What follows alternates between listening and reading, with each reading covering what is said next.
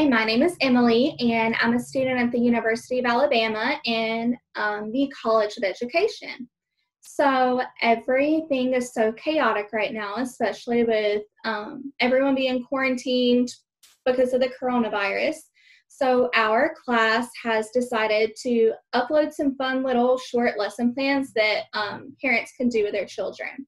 My lesson plan today is going to focus on the topic of snow. So, snow is actually soft, white pieces of frozen water that fall to the ground from the sky in cold weather.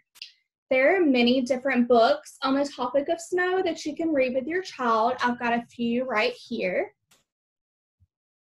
Here's one called There Was a Cold Lady Who Swallowed Some Snow. The Mitten. And here's one called The Snowy Day.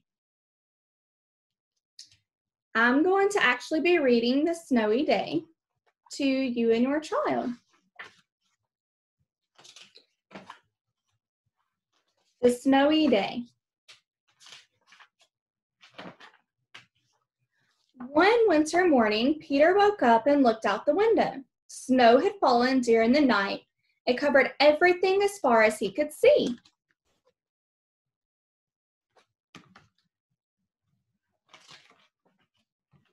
After breakfast, he put on his snowsuit and ran outside. The snow was piled up very high along the street to make a path for walking.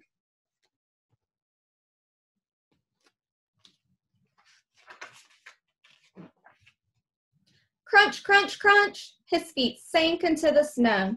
He walked with his toes pointing out like this.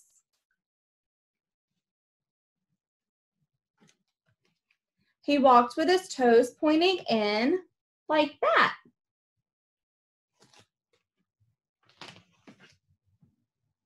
Then he dragged his feet slowly to make tracks. And he found something sticking out of the snow that made a new track.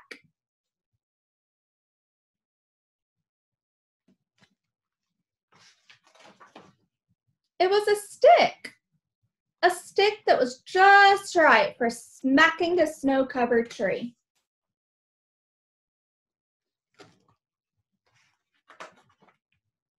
Down fell the snow, plop, right on top of Peter's head.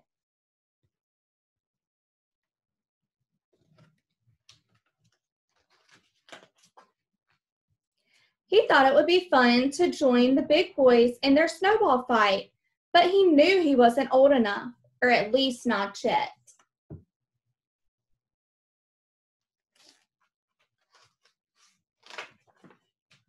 So he made a smiling snowman, and then he made snow angels.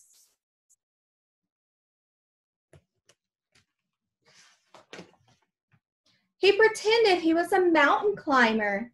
He climbed up a great big tall heaping mountain of snow and slid all the way down.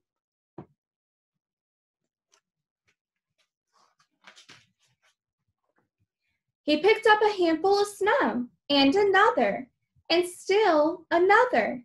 He packed it round and firm and then put the snowball in his pocket for tomorrow. Then he went into his warm house. He told his mother all about his adventures while she shook off his wet socks.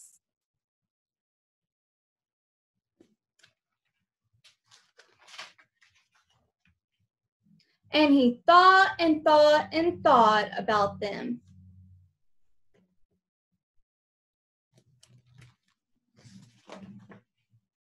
Before he got into bed, he looked in his pocket his pocket was empty. The snowball wasn't there.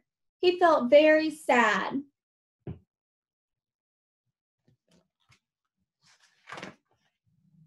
While he slept, he dreamed that the sun had melted all the snow away.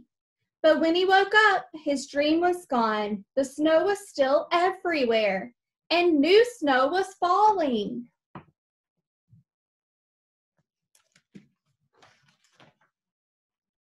After breakfast, he called to his friend from across the hall, and they went out together in the deep, deep snow.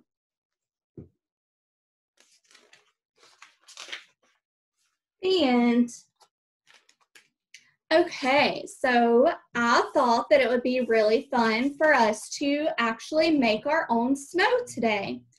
We are going to be making our snow with some things that I feel like are in pretty much every household. The first thing is conditioner for your hair. And the second thing is baking soda. So I've actually already measured out the baking soda and the conditioner. And I've got my bowl and my little um, mixing thing right here. So I'm going to pour two cups of baking soda in my bowl. I'm going to put one cup of conditioner.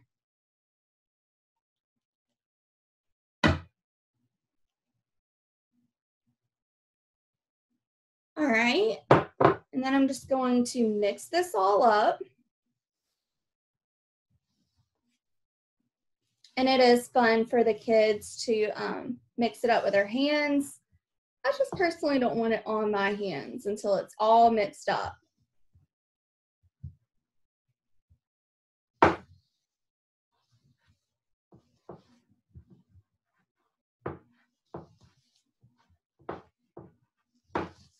So I figured that since we don't get snow in Alabama, um, this will be fun, just to let the kids kind of experience a snow day with pretend snow. And once everything is all mixed up, it's going to look like this. And it's going to have kind of a snowy um, consistency and kids can play with it. They can ball it up. They can make snowballs. They can just have fun with it, and you guys can get something done. All right, well, I hope you enjoyed this video, and I hope that this uh, lesson plan comes in handy for you and your family. Thank you.